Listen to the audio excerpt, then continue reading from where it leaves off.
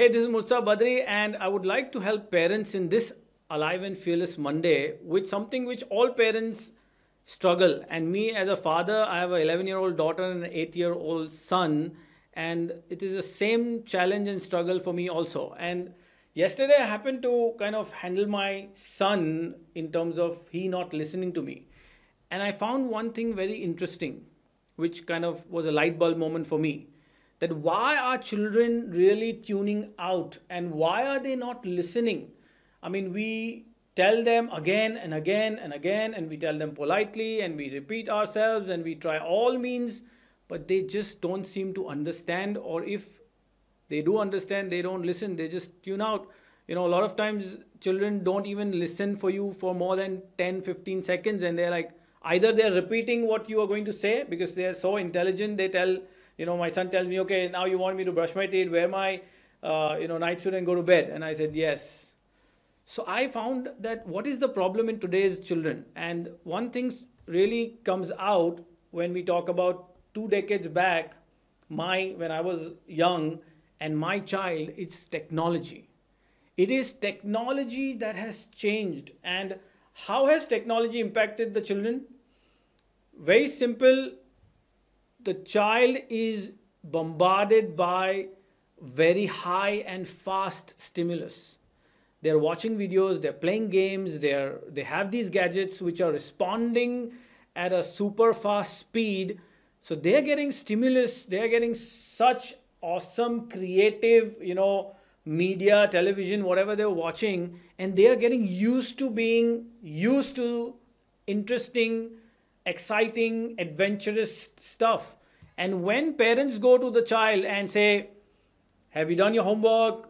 You've, you're not eating, you've not kept your you know house your room clean you know pick this up you never listen and we are repeating ourselves again and again and we are yelling and we're getting frustrated the child is really tuning out. So what parents really need to do and what i did and what i you know kind of experimented was i tried to feed my child with a different kind of conversation getting in his own world, thinking like my child, and being more alive and fearless, rather than using the same old yelling routine and repeating and reminding and instructing. I went into his world and I said, Hey, let's do this. Let's clean your room. I'm going to help you. And I, with him, along with him, kind of, you know, understood where his challenge is because I saw that the child is really struggling.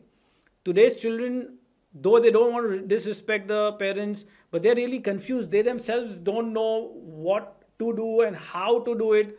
So they really would like the parents to be a partner a friend a person who understands the child's world and kind of bees you know makes things more interesting. And this also gave me an opportunity to spend a lot of quality time with my son. I kind of uh, engaged with him. I understood what was his challenges struggles and I was listening, I was there, I was reminding myself not to repeat any instructions or kind of dominate and control or say, you know, I know I'm your father, but really get into his world. And once I did that, it was more interesting, it was more fun. He changed his entire physiology, his emotions. He was more receptive, he was more listening, he was more like, hey, let's do this, let's do it together, and it'll be more fun. And, you know, we'll find the solution, we'll find a way to do it so I, I you know i said okay yeah this is a problem. So now what is the solution? How can i or we do it together?